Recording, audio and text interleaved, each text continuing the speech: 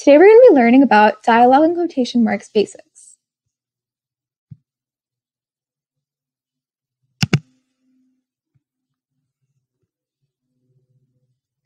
In this lesson, students will learn the basics of how to properly use quotation marks when punctuating dialogue, and basically they'll understand what quotation marks are, that they can be used in different ways, and how to use that when they're punctuating dialogue. So to start with, what are quotation marks? You've probably seen them around. They look kind of like weird upside down commas, and they always come in pairs. But what exactly are they? Quotation marks show us a lot of different things. They can show us dialogue, which basically means someone saying something. For example, hello, the boy said, is one way that we can use quotation marks. Another way that we can use quotation marks is when we're directly referencing something. So basically, if someone writes something and you copy that thing word for word, you can say that someone else said that thing and then you can put it in quotation marks. For example, according to Interns for Good, dialogue is someone saying something. Since someone saying something are my word for word, you have to put that in quotation marks. The third thing that you can use quotation marks to show um, are book, film, magazine, play, song, and other things too, titles. For example, my sister and I watched The Princess and the Frog together. That's the third way that you can use quotation marks. Today we're just going to be focusing on dialogue. So, how do we use quotation marks in dialogue? Let's take the example of this girl, Lily. Lily says, I like cake. So, how are you going to write that in a sentence with quotation marks and proper punctuation? First, let's take the sentence with no quotation marks. Just Lily said, I like cake. Those are the facts as we know them. Now let's moving on to identifying the different parts of this sentence. First off, we have Lily. Lily is the speaker in this sentence. The speaker is the one who originally said the word in the quotation marks. Speakers don't always have to be names like Lily or Jack and stuff like that. They can also be pronouns like he, she, or they, or we. In the sentence, said is the action tag. Action tags describe how the quote is spoken. Said is one of the most common action tags, but some other examples include words like screamed or asked or whispered. When the action tag comes before the spoken words, you have to add a comma right after the action tag. The chunk of the sentence is made up of both the speaker and the action tag. So in this sentence, Lily said is called the dialogue tag. So if I say dialogue tag, I mean, Lily said. Here are some more examples of, of action tags. Do you recognize any of them? I like cake is the dialogue in the sentence, not the dialogue tag, just the dialogue. Remember when we talked about the different things that quotation marks could tell us about? Well, one of them is dialogue, which, as I said before, is someone's spoken words. And in this sentence, Lily says, I like cake. Since this is a dialogue, we need to put quotation marks around the words I like cake. One set of quotation marks before the word I and one set after the word cake. We also need to show that this sentence is ending. Since Lily isn't screaming or asking a question, the sentence I like cake ends with a period. Remember to always put the end punctuation before the ending quotation mark. Notice how the period is right after the word cake and right before the end quotation mark even if this period was replaced with a question mark or an exclamation point, it would still be right after the last word inside the quotation marks and before the actual quotation marks. So here's a little exercise so you can demonstrate what you just learned. In the following sentences, underline the speaker, put a circle around the action tag, and draw a square around the dialogue. Then rewrite the sentences with proper punctuation, commas, quotation marks, and punctuation. Pause the presentation to write down your answers because I'm about to click over to them.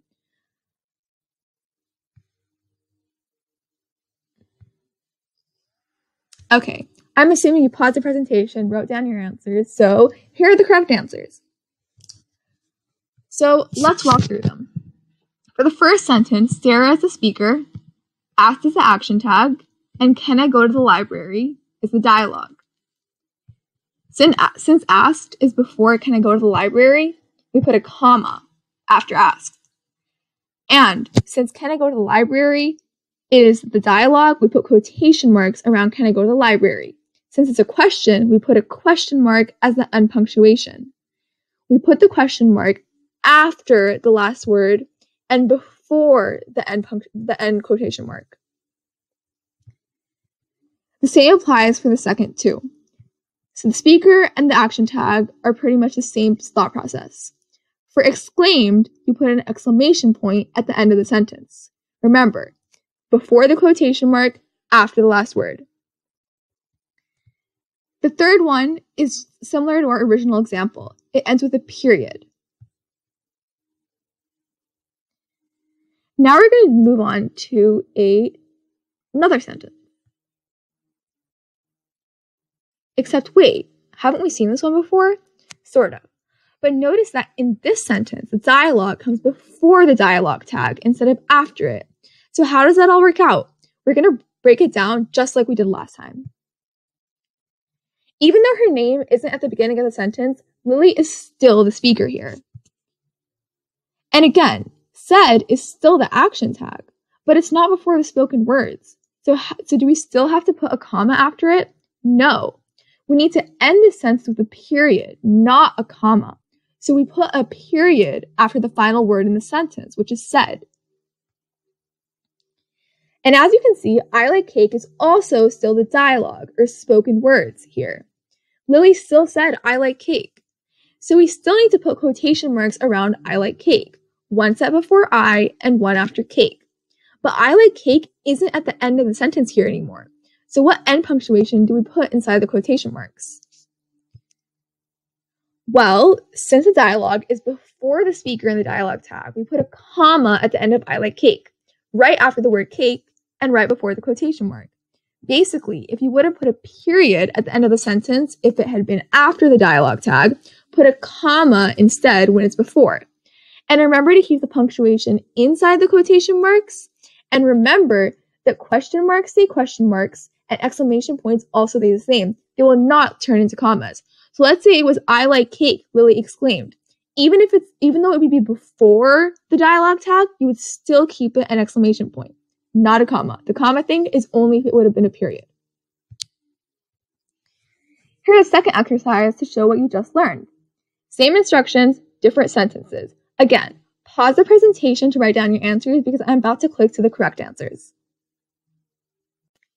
For the first sentence, where is my basketball is a dialogue. Ahmed asked is the dialogue tag. Ahmed is the speaker, and asked is the action tag. Similar to our example, since where is my basketball is a dialogue, we put quotation marks around it. And since it's a question, we put a question mark as the end punctuation. Since Ahmed asked, the dialogue tag is at the end of the sentence, we put a period at the end. The same rules apply for the other two exercise problems. Notice that explained ends with a comma. Explained can be really easily confused with exclaim, but it's not the same. Exclaim would be either a period or a comma. It's just a neutral sentence. Okay, now let's go back to Lily. So Lily says, I like cake, but I like ice cream more. This is a pretty long sentence.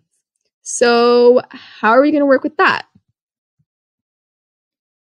So, notice the weird fit of the sentence. I like cake, Lily said, but I like ice cream more. Sure, it sounds right, but it looks kind of weird. So, you already know the drill. Let's identify the parts of the sentence. First things first, Lily is still the speaker. No changes there, even though her placing is a little wonky. Said, our action tag is still the action tag, but it's in a tricky situation here. It's after and before dialogue. So we put a comma or a period after said. Notice that we split the dialogue in two parts. So the dialogue tag is basically sandwiched between two halves of a sentence. So since said is not at the end of a dialogue sentence, we put a comma after said. And again, notice how the dialogue is split into two. That means we sort of need to treat each part of the dialogue on its own. Let's start with I like cake. The quotation marks start at I and end at cake.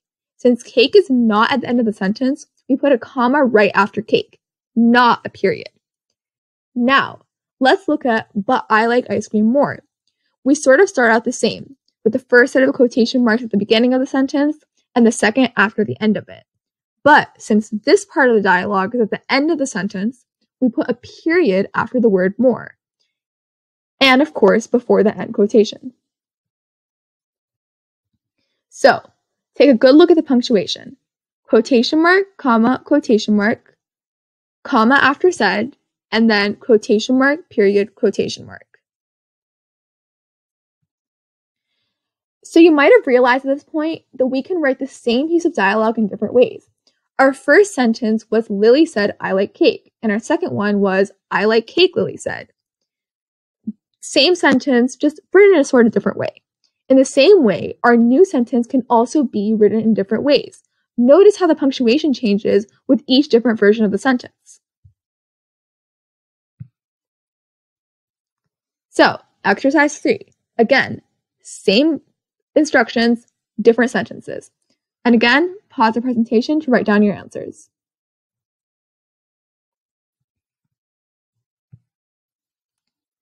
Okay, let's go over our answers. So, notice that in this one we have to draw two squares on each sentence. Basketball is fun, and so is baseball are both the dialogue.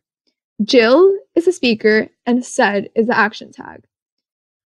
Notice the way the punctuation looks for each of these sentences. We just learned how to punctuate dialogue when you split the dialogue in two halves. But how about when you have two whole different sentences said by the same person? In this example, Lily says, I like cake.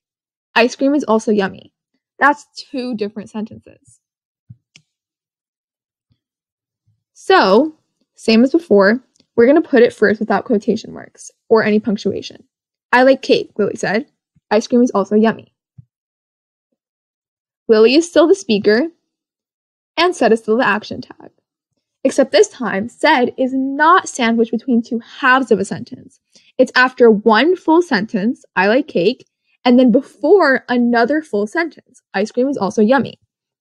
So, since these two dialogue sentences are different, we are just going to ignore the second sentence and act as if the dialogue tag is only talking about the first sentence. Said is at the end of the dialogue sentence. I like cake. So we're going to put a period after the word said, not a comma. So these two sentences are our dialogue, but since they're two different sentences, let's put them in different colors just to make this a little less confusing. Okay, so now let's take a look at this. I like cake has a set of quotation marks before I and a set after cake. And ice cream is yummy has a set before ice and a set after yummy. And for the punctuation, I like cake ends with a comma since it's before a dialogue tag. Ice cream is also yummy is at the end of its own sentence, so it ends with a period. Again, notice how the punctuation is always inside the quotation marks. It doesn't matter if it's a comma or a period. Here's another short exercise. You already know the drill. Pause the presentation and write down your answers.